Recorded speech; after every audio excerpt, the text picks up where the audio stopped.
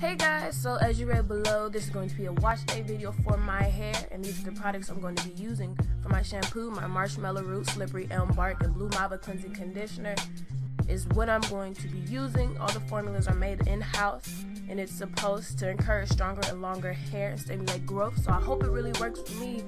So when I'm washing my hair, I finger detangle my hair before I put in my shampoo, as I did right here. I apply my shampoo on my hand, I rub it around in my hand, my fingertips, and I massage it through my hair, getting down in my scalp. Make sure you get your scalp, guys.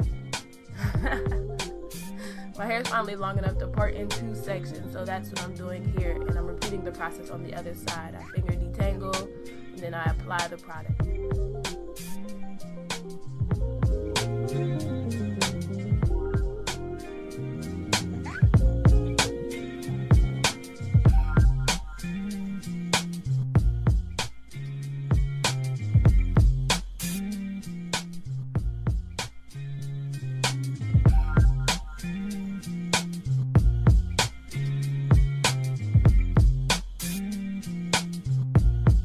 So I'm just going to step out of the shower for a quick second. I'm on campus and I'm going to show you just what the front half of my hair looks like when I've washed it with the Marshmallow Root, Slippery Elm Bark, and Blue Malva Cleansing Conditioner.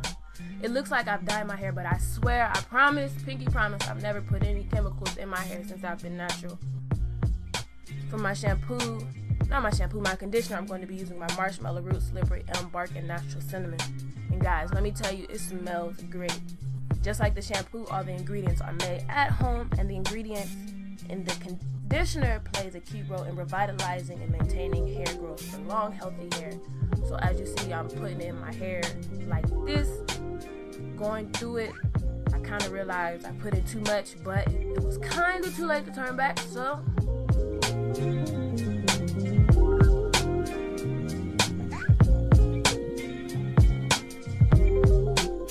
said to leave in my hair for about 30 minutes, so that's what I'm going to do. This is just a conditioner in my hair, chilling. The shrinkage is real, guys, I swear. So I'm going to rinse out my conditioner after the 30 minutes have passed. Ignore my room. But from here on out, you can pretty much do whatever you want to do with your hair, style it however you want. Me, I'm just gonna let it air dry. I'm gonna grease my scalp, put in the products that I use to keep my hair moisturized, and from here on out, it's pretty much up to you guys. But if you want to know any of the products I've used in this video, you can click on any of the links in the description. You can follow me and Khyla on Instagram. But don't forget to subscribe to this channel.